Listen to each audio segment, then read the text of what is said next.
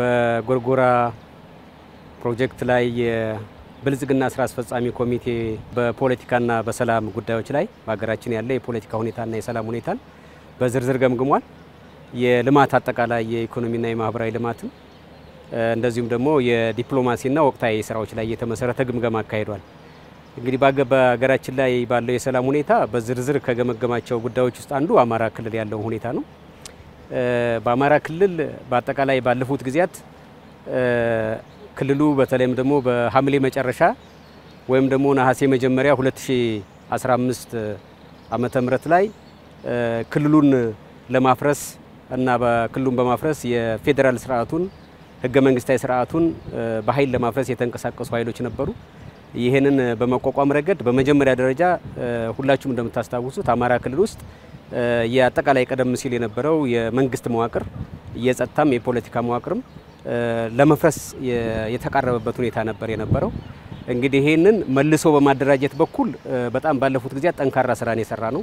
ይሄ ማለት በክልል ደረጃ በዞን በወረዳና በቀበሌ ደረጃ በጣም ትልልቅ ስራዎችን የሰራን ማለት ነው። የመንግስት ህልውናን እንደገና የማረጋገጥ ስራ ሰርተናል።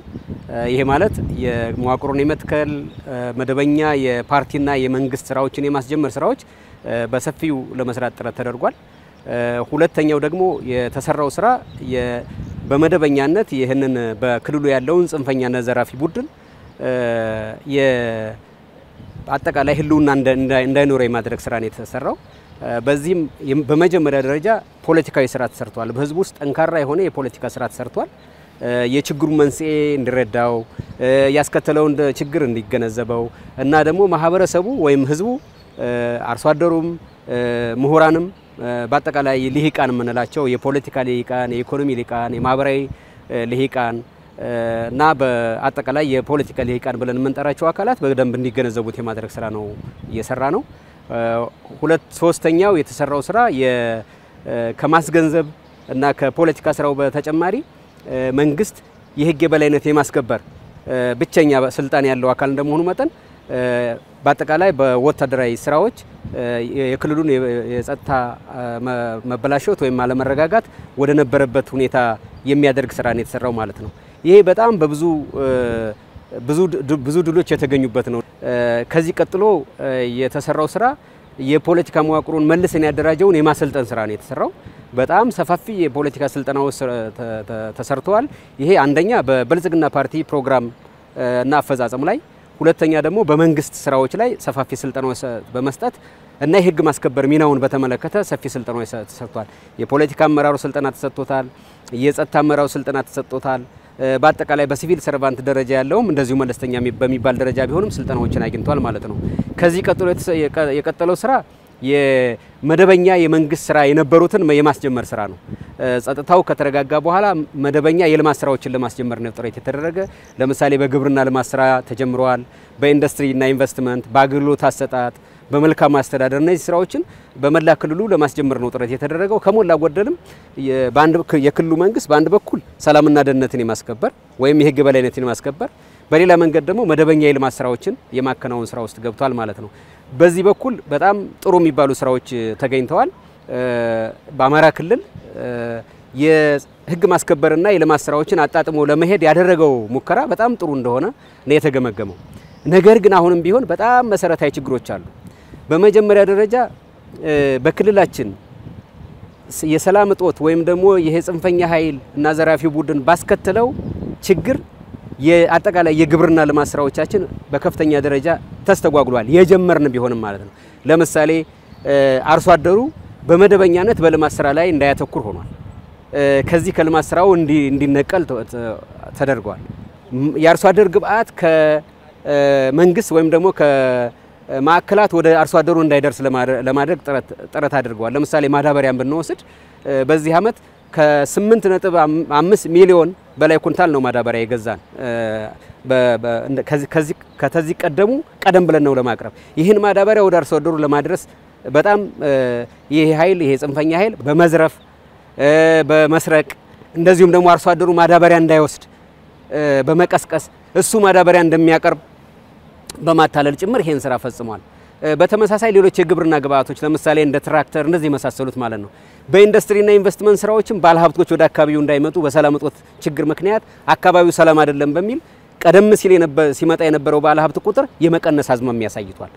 ሁለተኛ የገቡትን ባለሀብቶችም ቢሆኑ በተረጋጋ መንገድ ምርት በማምረት አገልግሎት በመስጠትም በኩል እንደዚሁ ችግር ውስጥ የነበሩበት ነው ሁኔታ አለ። ይሄ ማለት አዲሶቹ ብቻ ሳይሆን ከዚህ ቀደም የነበሩትም በአካባቢው ተረጋግተው ኢንቨስትመንታቸውን በመምራት ወይም ደግሞ አዳዲስ ኢንቨስትመንቶችን በማምጣት በዚህ በኩል ከፍተኛ ተግዳሮት ገጥሟል ማለት ነው። አገልግሎት ዘርፍን ብንወስድ ለምሳሌ ነፃ የንግድ እንቅስቃሴ የሰዎችና የምርት እንቅስቃሴ በነፃነት ያለመንቀሳቀስ ችግር አስከትሏል። በቱሪዝም መልክ ስንወስደው ደግሞ ቀደም ሲል ባህር ዳር፣ ጎንደር፣ ላሊበላ የተለያዩ የቱሪስት መዳረሻ ቦታዎች ላይ ሲመጣ የነበረው የውጭም ሆነ የሀገር ውስጥ ቱሪስት ከፍተኛ ቀላል በማይባል ደረጃ ገደብ ተጥሎበታል። ይሄ በመጨረሻ ደረጃ የክልሉን የልማት እንቅስቃሴ በከፍተኛ ደረጃ የሚጎዳ ነው። በመጀመሪያ ዛሬውኑ ከእንዲህ አይነት የኢኮኖሚ እንቅስቃሴዎች ተጠቃሚ የሚሆነው የማህበረሰብ ክፍል እለታዊ ጥቅሙን እንኳን እንዳያገኝ የተደረገበት ሁኔታ ነው ያለ። በሁለተኛ ደረጃ ይሄ አሁን ያለ ጥፋት አንደኛ ቀደም ሲል የነበረውን ሀብት በመዝረፍ፣ በማቃጠል፣ በመውረስ፣ በማገት በተለያየ መንገድ ከፍተኛ ችግር ስለተፈጠረ ይሄ ብሎ ብሎ ወደፊት ከፍተኛ የሆነ የኢኮኖሚ መዘዝን ተግዳሮትን የሚያስከትል ነው።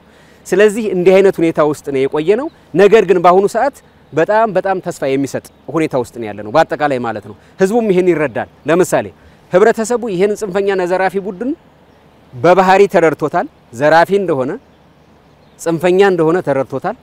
በድርጊት አርሶ አደሮችን ከአምስት መቶ እስከ አንድ ሺህ ብር በነፍስ ወከፍ አስገድዶ እያስከፈለ ነው ያለ የንግዱን ማህበረሰብ በሚሊዮኖች የሚቆጠር ገንዘብ ንብረቱን በመያዝ ወይም አቃጥልብሃለሁ ብሎ በማስፈራራት ከፍተኛ ገንዘብ እየተቀበለ ነው ያለ። እያንዳንዱ ነጋዴ የጥርስ ህመም ሆኖበት ነው እንጂ በከፍተኛ ደረጃ የተጎሳቆለበት ሁኔታ ነው ያለ። ስለዚህ ይሄ ኃይል ትናንት እንዳለው እንደቀሰቀሰበት ህብረተሰቡ እንዳደናገረበት የአማራ ክልል ህዝብ ጥያቄ እንደነገደበት ሳይሆን በከፍተኛ ደረጃ አርሶ አደርም በለው ነጋዴም በለው ምሁራንም በላቸው በከፍተኛ ደረጃ ባህሪውን የተገነዘቡበት ሁኔታ ነው ያለ። አሁን ዋናው የሚፈልጉት ነገር ከዚህ ኃይል በኃይል ነፃ የሚያደርገው የመንግስት አካል ነው የሚጠብቅ። በዚህ ጉዳይ ላይ በከፍተኛ ደረጃ የመተባበር ሁኔታ አለ እና በአጠቃላይ የወደፊቱ አካባቢውን ሰላም የማድረግ የህግ በላይነትን የማረጋገጥ ትልቅ ተስፋ ያለው ክልል ነው። ይሄ ብቻ ሳይሆን ከከዚህ ቀደሙ ስህተታችን እኛም እንደ መንግስት ህብረተሰቡን በተለያዩ ጽንፈኛ ኃይሎች ከመደናገር ወጥቶ በመደበኛ የልማት ስራው ላይ፣ በኢኮኖሚ ልማት ስራው ላይ፣ በማህበራዊ ልማት ስራው ላይ በግለሰብም እንደ ማህበረሰብም እንደ መንግስት ማተኮር ምን ላይ ማተኮር እንዳለበት ትልቅ ትምህርት ሰጪ የሆነ ስለሆነ ይሄ ቀደም ሲል የነበሩ አቅሞቻችንን አሁን ትምህርት ያገኘበትን ሁኔታ ደምረን በክልሉ ውስጥ አስተማማኝ ሰላም፣ ዘላቂ ሰላም እና እንደም ደግሞ ህብረተሰቡን በየደረጃው ተጠቃሚነት የሚያረጋግጥ የልማት እንቅስቃሴ ለመግባት ምቹ ሁኔታ ውስጥ እንዳለን የገመገብ ነው። በነገራችን ላይ የአማራ ክልል ብቻ ሳይሆን እንደ ሀገር በአጠቃላይ የጸጥታ ችግር ያለባቸውን በዚሁ የአማራ ክልልን በገለጽኩበት መንገድ የሚገለጹ እንደሆነ ለማየት ሞክረናል። ለምሳሌ አሁን ኦሮሚያ ክልል በተለይ ቀደም ሲል ወለጋ አካባቢ የሸኔ እንቅስቃሴ ይታይበት የነበረ ነው። ሰሞኑ እንዳያችሁት የህብረተሰቡ አቋም ጸረ ሸኔ የሆነ አቋም እንዳለው በተግባር አረጋግጧል። ልማት እንደሚፈልግ፣ ሰላም እንደሚፈልግ፣ ዲሞክራሲ እንደሚፈልግ አረጋግጧል። ይሄ በሌላውም አካባቢ የሚገለጽ ነው። ስለዚህ እነዚህ አይነት ሁኔታዎች በአጠቃላይ ደምረን ስናያቸው በኢትዮጵያ ውስጥ ዘላቂ ሰላምን ለማረጋገጥ የሚሻ ህብረተሰብ ነው ያለ። አሁን ብልጽግና እያረጋገጠ ያለውን የልማት ስራ የሚደግፍ የህብረተሰብ ክፍል ነው ያለ።